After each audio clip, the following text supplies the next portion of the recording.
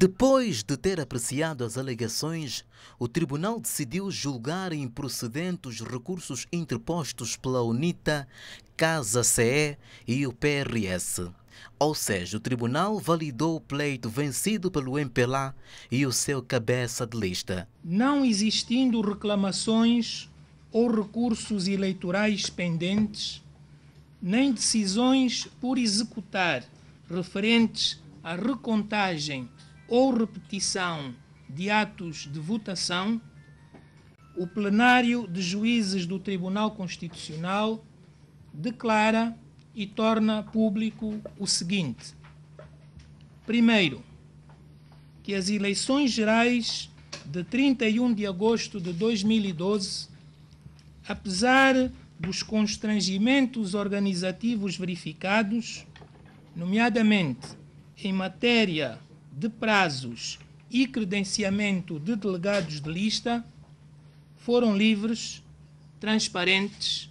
universais e justas nos termos previstos pela Constituição da República de Angola e pela lei. Segundo, que, consequentemente, são válidas as eleições gerais e os resultados constantes da ata de apuramento nacional aprovada a 7 de setembro de 2012 pela Comissão Nacional Eleitoral e publicada no Diário da República, número 174, primeira série, de 10 de setembro de 2012. Terceiro, que, por consequência e em conformidade ao previsto na Constituição e na lei, devem ser investidos nas respectivas funções o Presidente da República eleito,